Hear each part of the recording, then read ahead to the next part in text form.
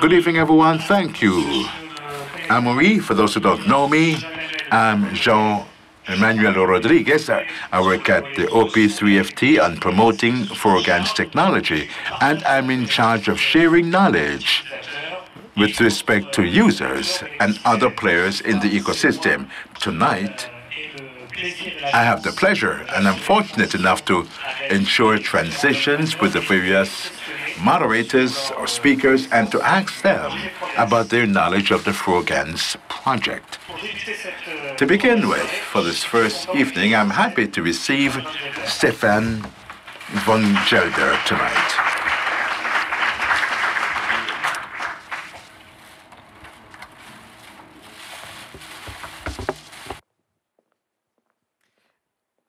Stéphane has been working with the Frogans project for a long time now. It's thanks to him that the project for the new GTLD.Frogans, and Julie will tell us more about that later on, uh, started to come about as of 2010, if I'm not mistaken.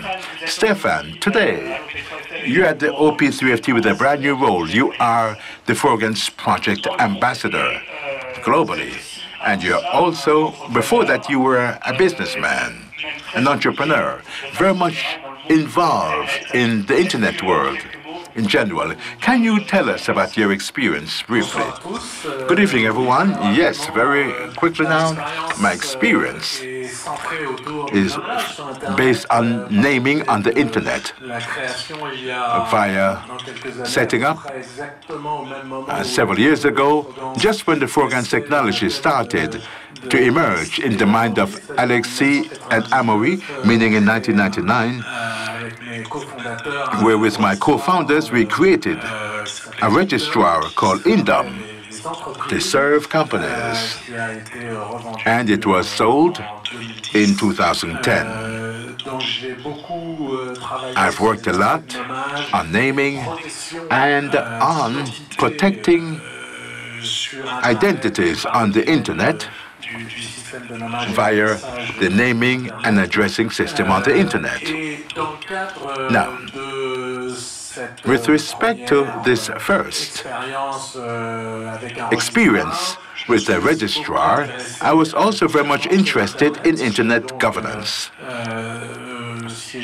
I sat on the uh, AFNIC board of directors, the administrator of .fr, and several administrative, administrative directors of ICANN, including the body monitoring policies for generic extensions such as .com, to whom we also owe the program for new extensions enabling .frogans to be registered and created. And today, at ICANN still, I chair the appointment committee. Uh, there are two levels in this presidency. The first level this year, the second next year. I won't go into all the complexities of all that, but just to tell you that this committee is in charge of reaching out to the outside world to find new talents for key roles at ICANN.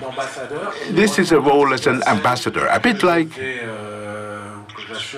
what I've already been doing for some time now for Frogans. So we've rounded the circle in that respect. Thank you, Stéphane. So it's as a Frogans project ambassador that you will be coming to explain to us tonight why the Frogans technology matters. As a part of your assignment, as I pointed out, it's global. We'd like you to answer this question and to give us a presentation in English. Thank you, first of all, for accepting. After which, I would like to point out that if you don't understand English, you may get headsets at the entrance to the auditorium. Charles over there will give you the headsets, and thanks to the work conducted by our interpreters, you'll be able to hear and understand the speech to be given by Mr. Van Gelder in French. Let me explain briefly how the headsets work if you wish to use them. You have uh, two knobs, one black and one blue. The blue knob will help you to turn it on well, to get volume, and the second one to find the frequency that you need to hear in French. This frequency is frequency 4. And if you wish to listen to the other presentations in English rather than French, you switch to button number five. Do not hesitate to go and get your headsets if you need one. Otherwise, I will now give the floor to Stéphane to tell us why the Frogans technology. Merci Jean-Emmanuel. Donc je vais basculer en anglais. Ceux qui souhaitent euh, en effet aller chercher un casque euh, avant euh, peuvent le faire. C'est juste à l'arrière, voilà. Euh, et donc euh, on va passer en anglais. Welcome, everyone. Um, the idea behind this presentation is to um, act as a, as a way into this second evening of the first Frogans conference. Um, yesterday, for those uh, that were unable to attend either through the live stream or in person, um, we did a lot of background presentations on the Frogans technology. Uh, and this really is uh, a direct follow on from that. So, as a primer for this evening, what we wanted to do was to give you a high level idea of why we think uh, Frogans as a technology is important and why it will, we're certain of it, have a strong impact on internet users. Next slide, please. So the first thing to say is that um, the idea itself may seem a little crazy. Uh, the web seems to work. Uh, the internet has been around for a while. Um, why would anyone want to uh, do something else or try and improve on what already exists? Um, once you've stepped beyond that uh, first reaction, you actually realize, next slide please, that there's a lot of uh, things that are great with the web, but there's also a lot of things that can be improved. And that's the approach that has been taken uh, with the Frogans technology. So the idea is not to say that what exists isn't good. It's to say, and this is really in the philosophy of the internet in general, how can we improve on what we already have? And uh, can we identify areas where uh, the user experience, because that's ultimately the only thing that matters, uh, can be improved and can be better? Next slide, please. So when the web was uh, invented, and we, we obviously, um, many people are aware that uh, this um, year we were, um, have been celebrating the 25th birthday of uh, uh, the invention of the World Wide Web by Tim, Tim Berners-Lee. Um, the world and the internet environment was a very different place. Uh, next slide. Since uh, that invention, uh, a lot of things have happened. Uh, things like the creation of a whole new way of using uh, the internet through mobile devices uh, like the iPhone. And we can credit Steve Jobs and Apple for uh, starting that revolution. Um, obviously, now, as we move into a, a, new era of mobile use, a lot of people are using the internet and accessing the internet through either mobile phones or, or tablets. So that has changed a lot lot, and we'll look at why it's relevant to the Frogance technology in a minute.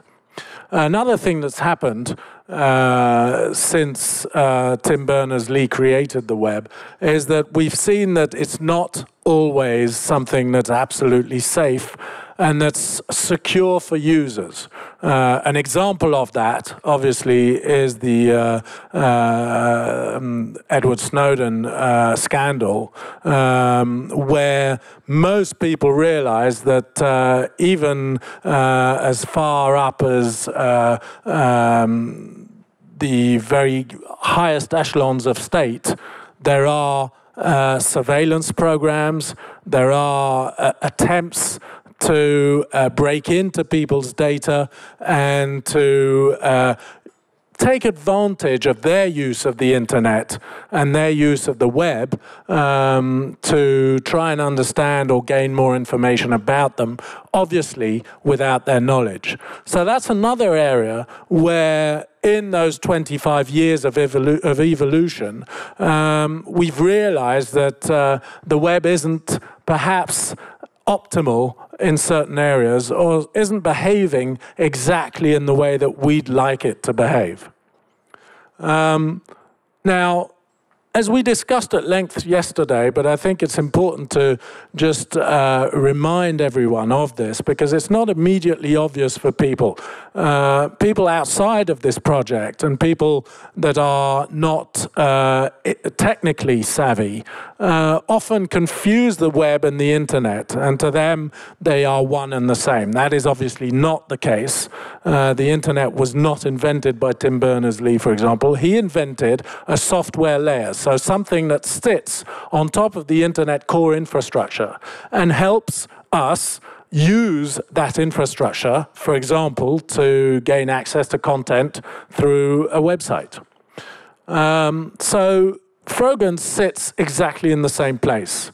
The idea itself is to use the existing infrastructure. So you, we're not changing um, anything major in terms of uh, access to the technology that uh, we are proposing. It is something that's simple for both developers, uh, technical people, and users. And that's obviously very important as we look to boost the uptake of this new technology. Um, so why is it important? It's important because it's an attempt at correcting some of the things that I've described. And one of those aspects that's extremely important for users is obviously security. Frogans, as a technology, has a built-in uh, capacity to prevent malicious uh, uh, software or code from infecting a user's machine. And that's obviously very important because users are not able uh, to identify when those attacks take place, so they're not able to protect themselves.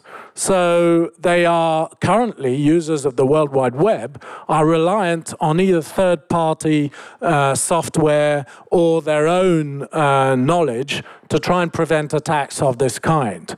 That will not be the case with Frogans. That technology will protect them uh, from uh, this type of attack without them having to do anything. So that's obviously very powerful for users. Um, another thing that uh, has happened since the World Wide Web was invented is that the internet itself has become more, much more international. Obviously, uh, the expansion of the internet has been huge, and that expansion is now reaching into areas where English is not the standard default language, where ASCII is not the default character code, and where users would like to access the internet services uh, with their own alphabets, their own language, and using their own culture. And another important as aspect of the Frogans technology is that built into that technology is this capability of using any script and any writing style to access uh, the Frogans sites, so the content that uh, is available, that is made available by this technology. Um, and as I mentioned earlier on with the uh, uh, slide with Steve Jobs on it, um, we're now in a multi-device world.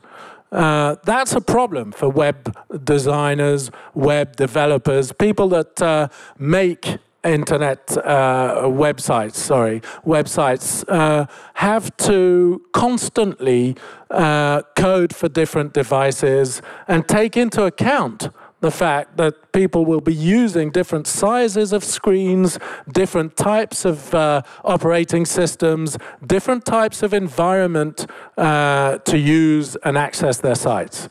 once again, with the Frogans technology, that problem disappears. You have uh, a capability, the, the built-in capability for the technology allows any developer to create a site only once. They only have to code for it once, and it will look the same and be rendered exactly the same on any device. So I'm sure you'll agree that's a very, very powerful feature to have. Um, now, Frogans, like the internet, there's a, there's a basic philosophy here, which I, I hope uh, by the end of tonight you will have uh, uh, fully grasped and understood. Uh, the basic philosophy is that this is something that is for everyone and that is open to everyone just like the internet. The very reason that Frogans is able to exist is because the internet is open and allows innovation, allows new developments. That's exactly the same with the Frogans technology. It is supported by a non-for-profit organization, OP3FT, and that organization's mission is to make sure this technology always stays available freely and to everybody. And it means that anybody can come in and improve the technology. Another important feature uh, as this technology rolls out. So it means, for example, that developers uh, can either choose to use the existing technology to develop sites in a, in a faster, easier, more user-friendly way, or they can actually uh, look at the te technology itself and develop new uses for that technology and new means of, of working with that technology. For users also, um, it's an important factor because uh, the technology itself, as it's uh, presented now, already allows them to have a safer, more user-friendly experience. The uh, uh, multi-platform feature that I mentioned earlier on is obviously important for that because um, they will will they will have the same user experience whether they're using a very small mobile phone or smartphone, a tablet or a desktop. Uh, that means they don't have to change their habits to suit the machine. It's the other way around. That's really the way it should be. So um, that, in a nutshell, is why we think the Frogans technology matters. And um, we're looking forward. This is, this is a, a, a forward-looking project, uh, even though it's a project that's been going on for a lot of years because the scope of the project is really impressive. It's immense. Uh, but it is a forward-looking project. And what are we looking forward to? We're looking forward to that time when those people that aren't on the internet right now, um, estimates put uh, the number of users around the world at around 2.7 billion uh, currently. Um, and uh, as we've seen with initiatives from Facebook and others, um, that's only the tip of the iceberg. There's a lot of other people on the planet, and those people will be coming to the internet through mobile devices, through the ability to use their own scripts, through the ability to view content in low bandwidth um, environments or low memory uh, on low memory devices. So they need something that is suited to their language, their culture, and their technical environments. And we think Frogans is it. Thank you very much.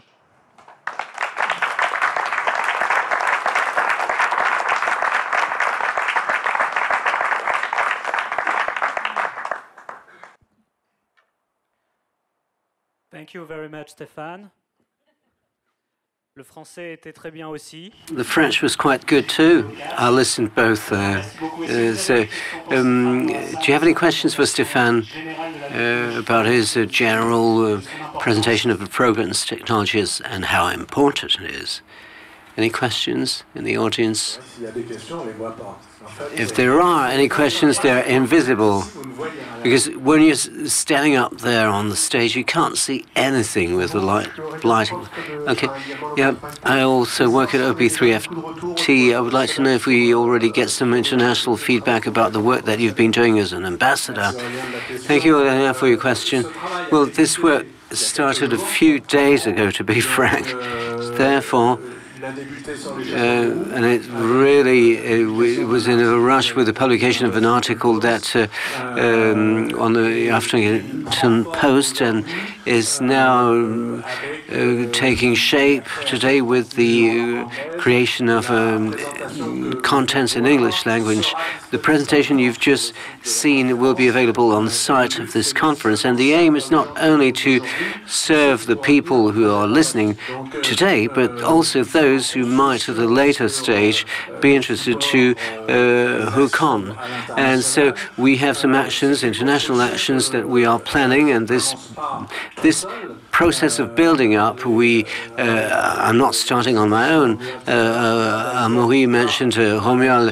Uh, Romuald uh, went to ITI recently to, he is in the Anglo-Saxon world and these people uh, uh, in the field of trademarks are very interested in this kind of technology. So we have a number of actions uh, which are taking place at the same time, uh, converging towards the uh, international uh, um, arena. And the, the more we move forward, the more we will have to materialize this technology because for the time being it's still very much theoretical as people are not in a position to use it. So the, the work of an ambassador is to make uh, to turn this technology into more practical um, forms. Uh, thank you.